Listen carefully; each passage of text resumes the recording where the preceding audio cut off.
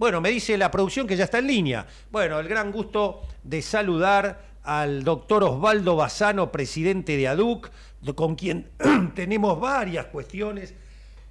perdón, perdón, eh, mi garganta anda medio mal. Eh, varias cuestiones para dialogar. Doctor Bazano, Jorge Chamorro, ¿cómo anda? Hola, doctor Bazano, ¿me escucha? ¿Qué tal? Buenas tardes, buenas tardes a toda la audiencia. ¿Cómo, ¿cómo anda? Sí, sí, perfecto, perfecto, lo escuchamos. Ahora, sí, ahora sí. Bueno, te decía buenos días, buenos días a toda la audiencia y gracias por llamar. Un gustazo, un gustazo, doctor, un gustazo. Veo que está en movimiento, está con manos libres en algún lado porque hay un eco ahí, pero... No, no, no, no, no, no, no, no, estamos quietos, estamos quietos acá. está perfecto. Bueno, este vamos al grano porque lo, importante es escucharlo usted que, bueno, largó eh, con su... Eh, este, el tema del IVA, ¿eh? largó el tema del IVA y queríamos saber qué están recogiendo desde ADUC, la Asociación de Usuarios y Consumidores, que es tan importante, tan prestigiosa, qué están recogiendo ustedes de la gente, las dudas, cómo lo ve a esto, doctor, hasta ahora. Bueno, a ver, eh, como primera medida, eh, porque después quería hacer una referencia a lo que estaba recién, escuché que, decía, pero como primera medida el tema, la, la medida sí, sacar la eh, ganancia, el impuesto a las ganancias y demás han sido muy acertadas. Los préstamos también que, que van a abaratar los préstamos consumo, que en este momento ronda entre 200 y 400% los intereses en las famosas fintech o los préstamos en las no financieras. Pero en el tema del IVA tenemos pura y exclusivamente otro ataque a los consumidores, es decir, lo podríamos llamar otro golpe de mercado, porque han incrementado entre un 10 y un 20% cuando veníamos teniendo una semana bastante tranquila. Septiembre comenzó tranquilo.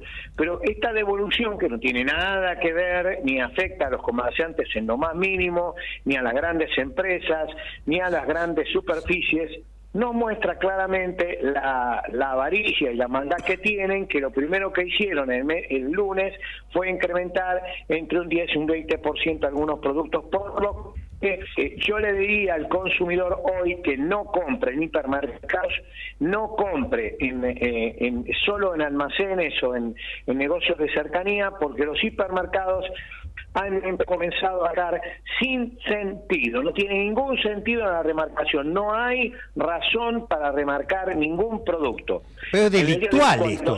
Esto es delictual, es canallesco. Exacto. Lo tendrían que, eh, hay varios que ya están con, eh, según me he enterado, para ser sancionados severamente, algunos grupos y vamos a blanquearlo. Eh, eh, Día, Coto, eh, en algunas otras sucursales, lo primero que han hecho fue remarcar cuando no existe absolutamente ninguna razón, pero claro, como están muy de acuerdo a lo que usted señaló al principio, comenzaron con este ataque al consumidor no es gobierno. Y permítaseme explicarle algo a la, a la audiencia, que es lo que está ocurriendo en lo que va del siglo XXI. A través de, de lo que hemos recibido corporaciones globales y esta mal llamada globalización ha significado Doctor, doctor, perdón, eh, Osvaldo, perdón, a ver si se mueve un poquito porque se está entrecortando y lo queremos escuchar con mucha claridad, se entrecorta la llamada. Ahora me, ¿Ahora me escuchan? Ahora, mejoró, ahora sí. A ver, estaba diciendo esta globalización y se cortó. En la globalización de fin de fin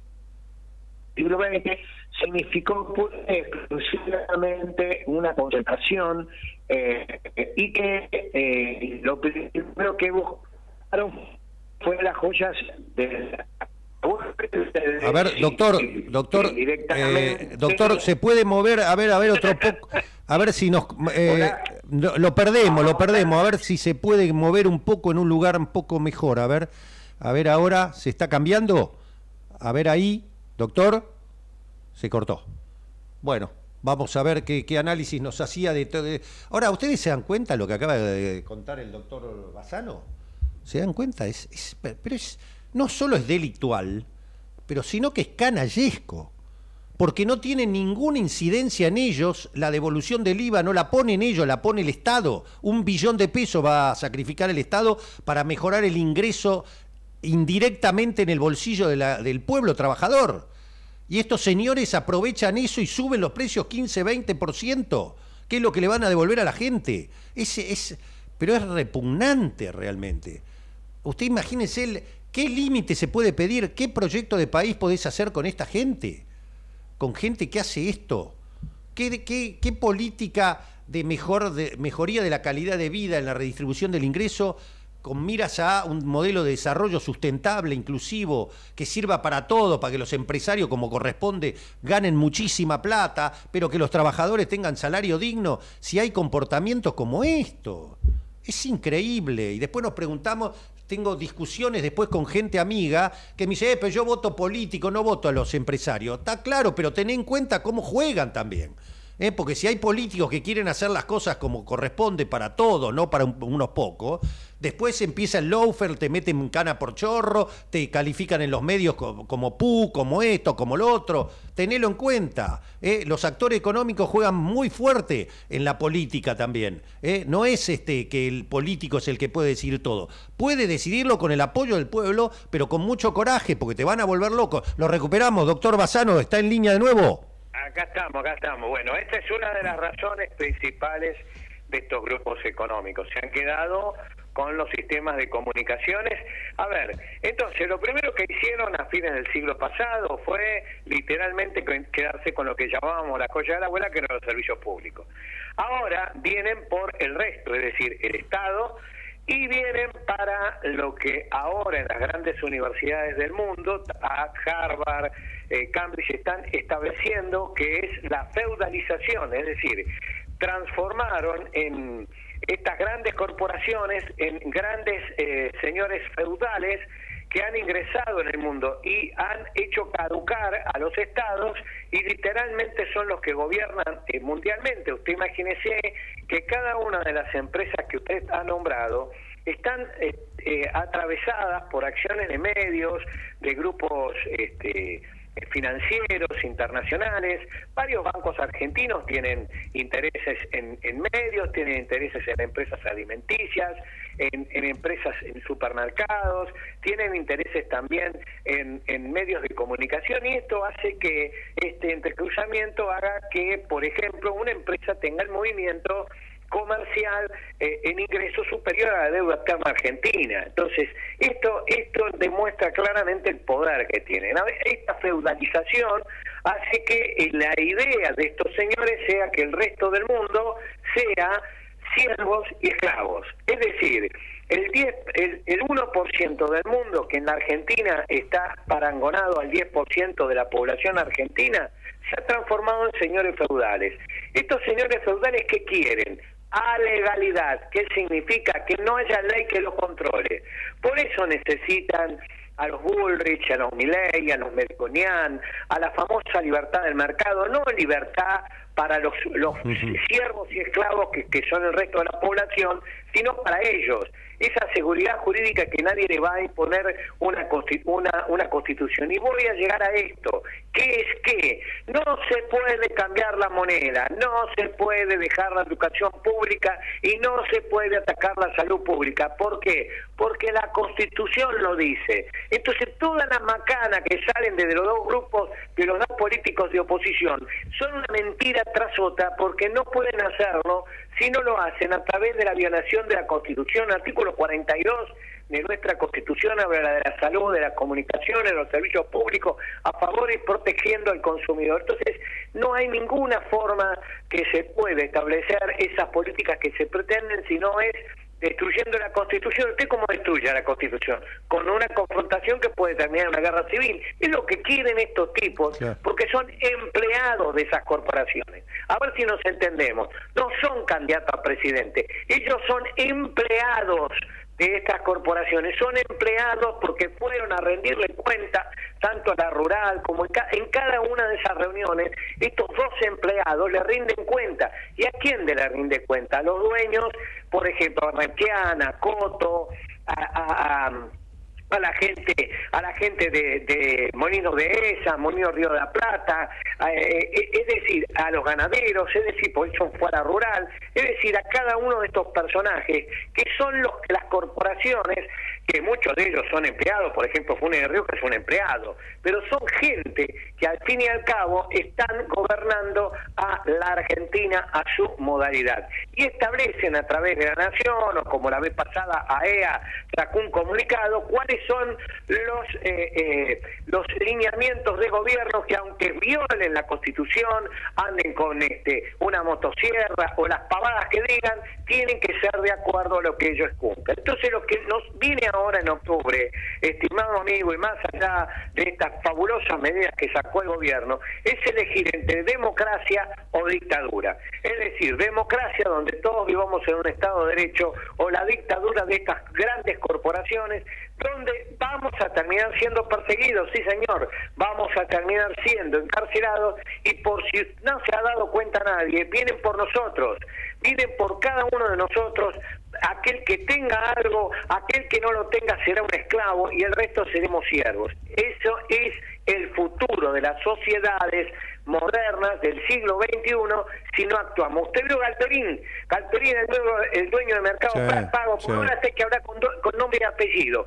Galperín recibe subsidio del Estado, es el gran planero, es el chori planero de la República Argentina, Galperín. Apoya a Mireia Bulbis y se fue a Uruguay porque acá se le está, se le está por salir, sacar todos los planeros, toda la plata que recibe del Estado. Y esto, estos subsidios que son a través de lo tenga, que, que en Argentina se hicieron la norma para que se progrese en el tema virtual, pero estos tipos lo utilizaron y lo siguen utilizando con una voracidad espantosa para perjudicar a los consumidores, para perjudicar a 47 millones de habitantes. Es decir, que 47 millones de habitantes vivamos mal y un grupo muy pequeño de la sociedad sean nuestros gobernantes sin elecciones.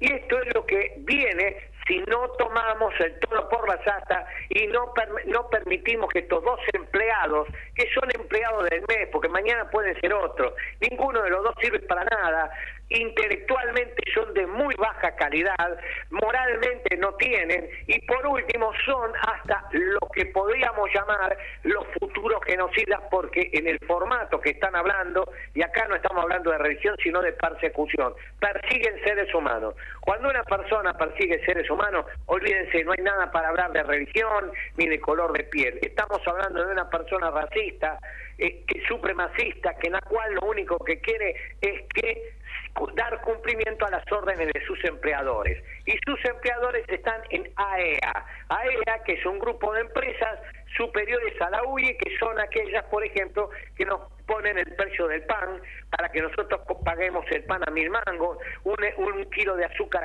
a, mil pesos, un kilo de carne no podamos poner en la mesa, y estos grupos son los que nos atacan. Por eso, cuando ahora el gobierno eh, ha sacado todas estas medidas empezó a usar la lapicera, que hace rato que debería haber usado, eh, lamentablemente empezaron a aparecer esos juicios bárbaros, a, ver si, si la vicepresidenta tiene plata eh, que robó, o sea, esas barbaridades que en un eh, no es un país normal, porque en el mundo está pasando que lamentablemente este ataque de derecha muy criminal está generando en el mundo, porque la guerra de Ucrania, por ejemplo, es pura y exclusivamente el ataque de, el ataque de derecha de estos grandes grupos. Esta, en octubre tenemos que elegir, vuelvo a recalcar, si vamos a vivir en democracia o si vamos a ser siervos y esclavos de esta dictadura corporativa. Impecable, doctor. Suscribo 100% todo lo que dijo. Eh, solamente ratificar eh, dos cosas muy importantes para cerrar de nuevo la nota. La prestigiosa consultora ADUC eh, de Defensa de Usuarios y Consumidores ha registrado entonces subas canallescas y delictuales en hipermercados y supermercados con el tema del IVA y usted tiene información de que la Secretaría de Comercio va a hacer fuertes sanciones por esto, ¿es así? Bueno, récord. Inclusive ayer el, encargado de la FIP eh, lo dejó entrever en un reportaje que han hecho en la televisión de que eh, van a tomar medidas. Porque, a ver, no no le quitan ni le sacan impositivamente a nadie. Nada, nada. Nada. Entonces, esto es una barbaridad que un beneficio que el Estado, el Estado le está dando. Claro, lo que quieren hacer es que no se note que el Estado los beneficia al pueblo, al pueblo, no a ellos. Por eso hablo de la legalidad, es decir, no quieren que el pueblo se vea beneficiado, quieren que sigamos siendo esclavos. Cuidado, cuidado, cuidado con, veamos, eduquemos a nuestros chicos, esos chicos que salen corriendo a votar a Minay, aprendan, murieron, murieron 30.000 personas en el 76, 40 en una plaza en el 2001 y estaba esta señorita Bullrich en aquel momento como gobernante. Eh, en el año 30 hubo cientos de miles, millones de muertos por las mismas eh, políticas económicas que eh, sale con la motosierra a decir, señores, cuidado, no entendamos perfectamente. Primero están las personas. Si estas medidas son para eso, inclusive ese 15% que le quieren cobrar a las, y, a las, y el 7% a las multinacionales, se está hablando en todo el mundo porque después de la pandemia todas estas empresas han vaciado al mundo.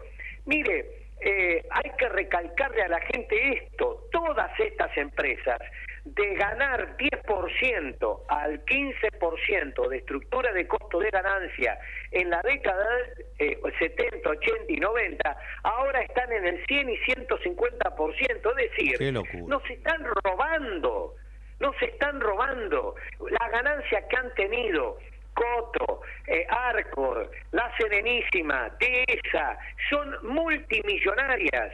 Las ganancias que han tenido las empresas automotrices jorobando a la gente con el tema de las este de las este de los círculos cerrados de claro, tremendo. Las, las ganancias que han tenido las de comunicaciones que no podemos hablar esas empresas han tenido ganancias de mil y dos mil millones de dólares anuales que son el Grupo Clarín y Telefónica, que a su vez tienen acciones en alimenticia. Señores, tenemos que terminar con esto. Y esto no es un invento. Bueno, eh, Osvaldo, tengo entendido que Arcor acaba de distribuir dividendos, es decir, ganancias para sus asociados de más de 15 mil millones de pesos, ¿no? Pero, señores, es la plata, esa es la nuestra. Esa es la nuestra. Esos choriplaneros viven a través de nosotros de los trabajadores de Arcos y de cada uno de los tarados que fuimos a comprarle las cosas, que tiene el 75% de la industria alimenticia. A ver si lo entendemos.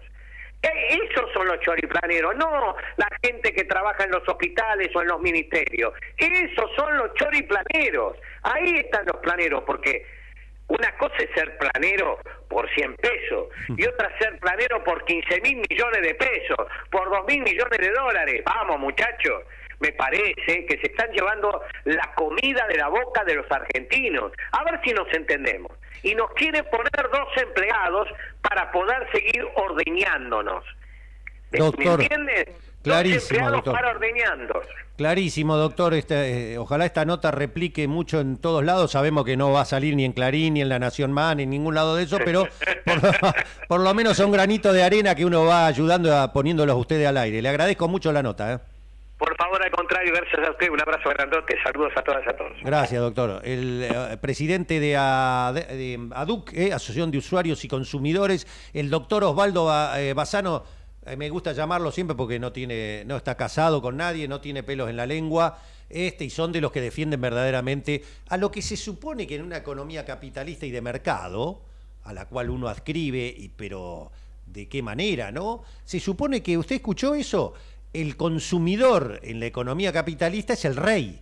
¿eh? El rey es el consumidor. El cliente siempre tiene la razón y toda una serie de cuestiones más.